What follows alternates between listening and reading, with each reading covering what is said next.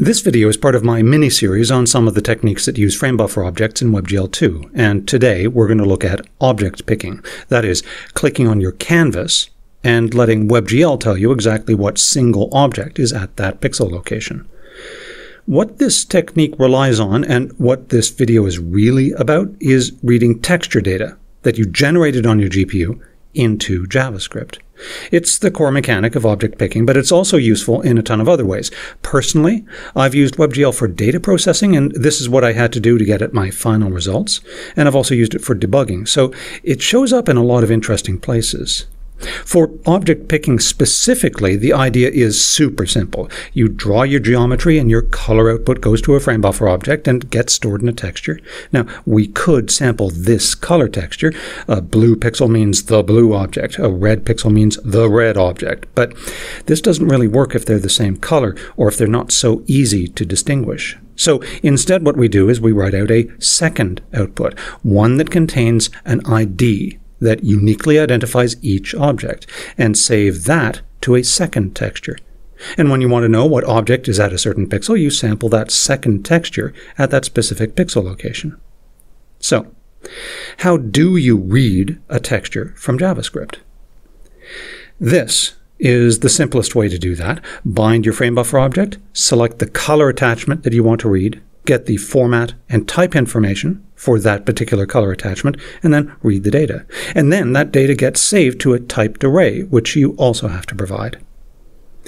This is simple and fast, and it should be your first choice, but it's not perfect. This operation is blocking. So when JavaScript hits this instruction, it has to stop and wait until WebGL returns with its answer.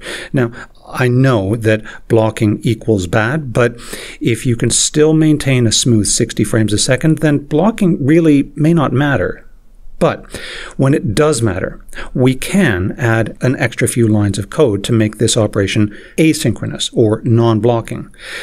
Please don't misunderstand. It won't make it faster. It will just free up JavaScript so that it can work on other things.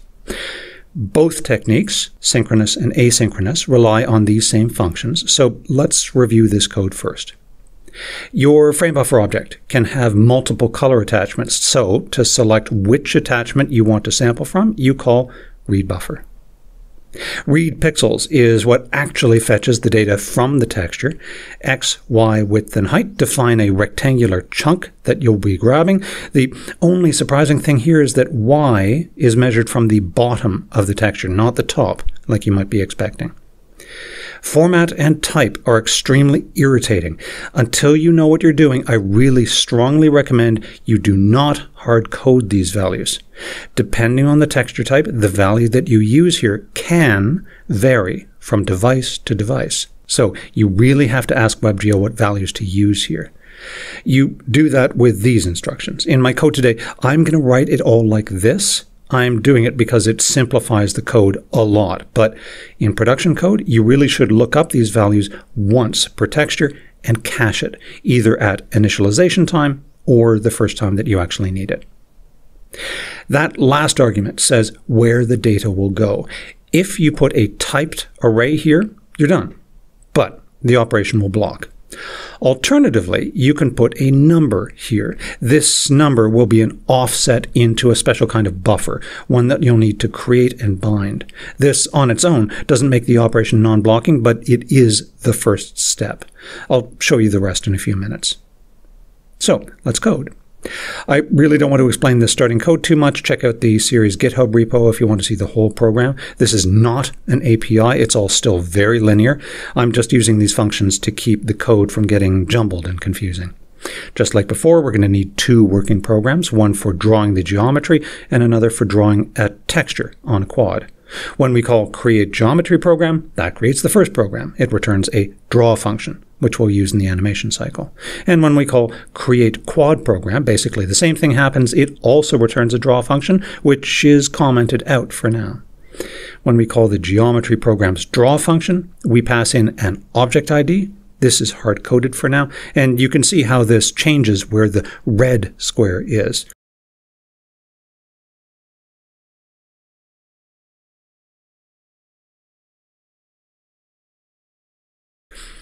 And when I uncomment the quad program's draw, notice that for now we're only seeing half the quad, just like in the last few videos. Right, so let's just get this working with a frame buffer object and a single color texture attachment. We've done this in the last two videos, so I won't narrate this too much. Until you feel comfortable with frame buffer objects, I, I really do recommend that you write your code something like this. Just work in baby steps. You'll learn a lot about the different kinds of bugs that you can get, and fixing them will be a lot easier. So here's our first bug. We're not clearing our texture. Let's do what we did last time. There's no depth buffer, so we only need to clear the color buffer bit. And that works, mm, for now. Time to start on object picking. We have to make one single change to our existing code. The geometry program needs to output color and instance ID information. The shader already has this ID information, so all we really need to do is output it. Since we have two outputs, we'll have to specify location layout qualifiers or the shader won't compile. The regular color output will stay at location equals 0, and the new instance ID output will be at location equals 1. And that's all we need to change. Now let's add a new texture attachment to the frame buffer object. The instance ID output was at location equals 1, so this will be found at color attachment 1. It's a regular 2D texture. We'll call it instance texture. It'll have a single mipmap level, so 0 is its base mipmap level. And the texture doesn't exist, so let's create it. Just to keep our texture straight, we'll put this at texture 1. Bind it and assign it some storage. Again, only one mipmap level. And I'm going to use R16i. Here's why. We're taking a single value per fragment, so that's why R and not RGBA or whatever. We have 400 objects, so 8 bits is too few and 32 bits is overkill. But why I and not UI? Well, I could have assigned this value in my vertex data, but in this application, this value comes from the GLSL constant GL instance ID, and that is assigned int. So we use an i.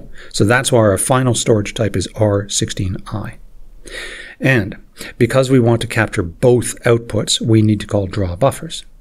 Save, and we get a strange warning message, but we can also see what the problem is already. Clearing the texture is broken. Now, if you watched my video on the gnarly details of frame buffer objects, you'll know that that's because one of our textures is now an integer texture, so clear won't work here. So let's use clear buffer FV instead. That clears the color texture and fixes the error. Let's deal with the instance ID texture in a second. So it looks like we're ready to start reading instance IDs from that new texture. Again, getting the format and type should probably be done when we create the frame buffer object, but let's keep the code simple here. Data doesn't exist, so create it. It's an I16 array with enough room for a single value. And we get this error now. What this is saying is that we're using the wrong typed array, and it even suggests that we use either uint8 array or uint8 clamped array. Now, if we made that change, the error would go away, but it makes no sense because our instance ID texture is full of signed ints. But remember our color texture? It uses RGBA 8, which stores floating point values as unsigned ints. So, we are reading from the wrong texture because we didn't call read buffer. Call that to load instance ID's texture, and no errors now. So let's get that data and assign it to selected instance ID. And yeah, it's working. I mean, if you call that working. Now, instead of hard-coded coordinates, let's work with mouse coordinates.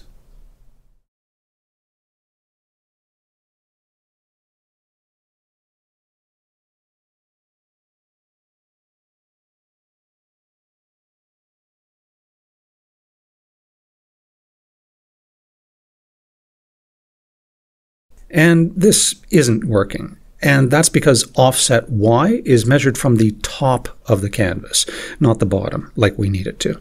So we need to flip it. Easiest way to do that is subtract it from the height of the canvas. And that is less awful, but clearly we should be selecting only the correct object once. So let's move all that read pixels code into the mouse event handler. Read pixels needs a frame buffer object to be bound.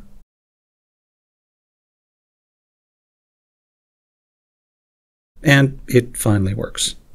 Except Remember how we cleared the color texture earlier, but not the instance ID texture? I did that for a reason. Now, here's what was happening with the color texture before we started clearing it, right? Well, the same thing should be happening with the integer texture too, because we're still writing to it without clearing it first. So you can select some objects by clicking on where they used to be. This is a nasty little bug if you're not expecting it. So let's clear the texture. And now it really does work. And you know what? This is completely fine. For a smaller application, there may be no reason to go any further than this. The read pixels operation is blocking, but it, there's not that much for it to block. And there are no warnings or errors. So I would be completely fine leaving it like this. But Let's just imagine for a second that we had a ton of other things to do in JavaScript and couldn't spare the several milliseconds it might take for this instruction to complete. When this happens, we need to make this whole operation asynchronous. And to do that, we're going to need to do three things, just three. Read pixels cannot write to that typed array anymore. It has to be written to a special WebGL buffer called a pixel buffer object. These are for moving data between JavaScript and the GPU. And for moving data from the GPU into JavaScript, we have to use a pixel pack buffer. We're going to have to put off populating that typed array until WebGL tells us that it's done downloading the data. And to do that, we'll use a WebGL sync object, usually called a fence. I'll explain this when we get to it. And last, read pixels is going to be saving a rectangular chunk of pixels to that buffer now, so we're going to need to read from that buffer to populate our typed array. And the WebGL instruction for getting a contiguous slice of data from a buffer is get buffer subdata. And that will populate our typed array.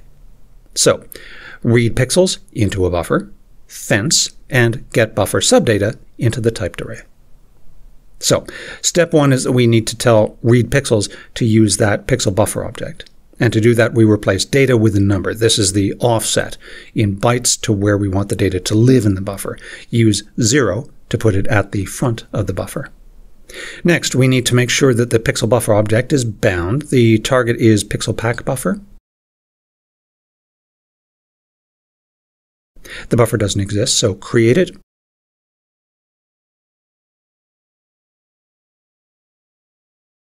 And allocate storage. We're reading a single pixel from a 16 bit integer texture, so we need room for that. 16 bits means 2 bytes. And we have to tell WebGL how we plan to use this buffer. In cases like this, that's stream read. And last, let's read from that buffer. Now, as you'll see, this is absolutely the wrong place to put it. So because I know I'm going to have to move it, I'm going to write it a little different like this get the data.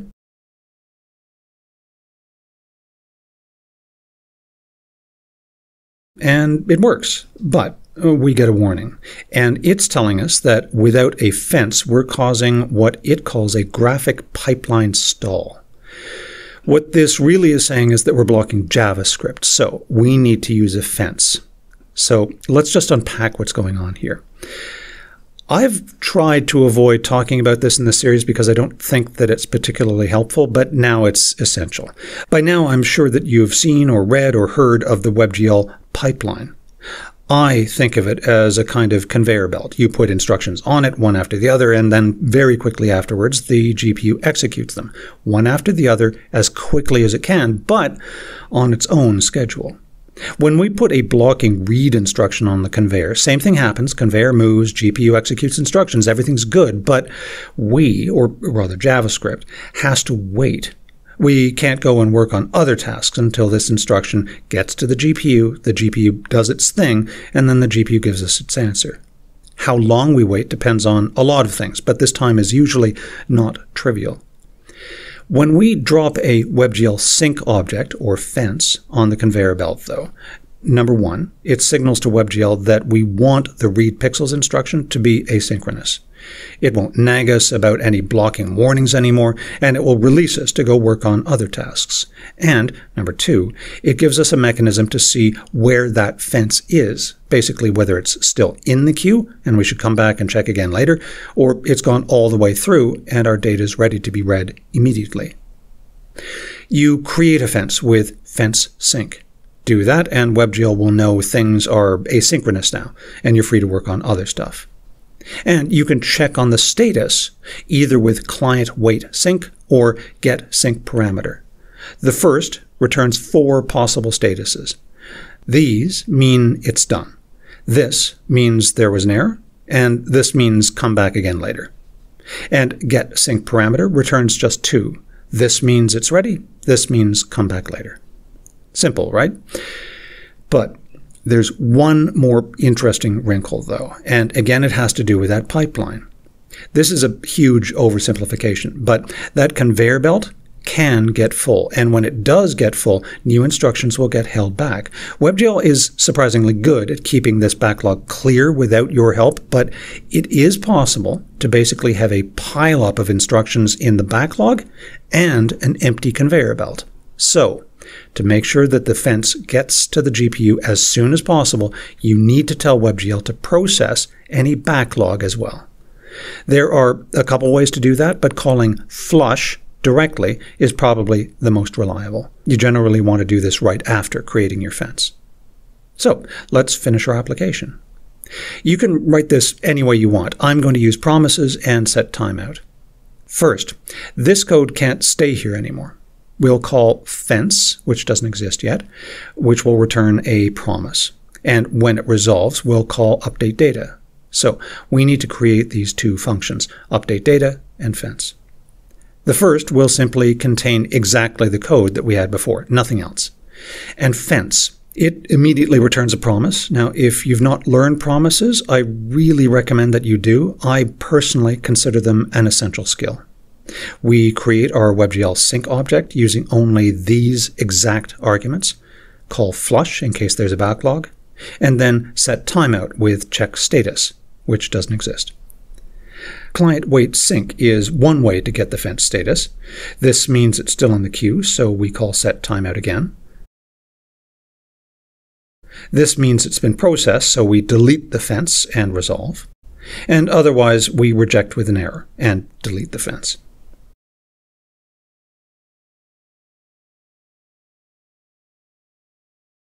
And it works. And this code is non-blocking. But let's try rewriting check status again, this time using get sync parameter to check on the progress.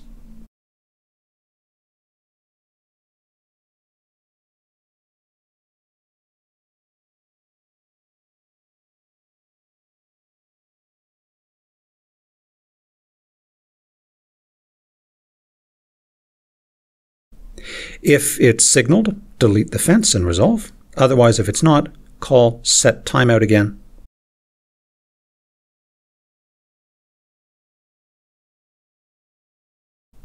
And our code still works. So that was an unexpectedly long one. I hope that you got something out of it. Next video will be on Gaussian blur and convolution. Spoiler alert, I hate blur, so I'm going to try and find a way to keep it interesting and educational. See you then.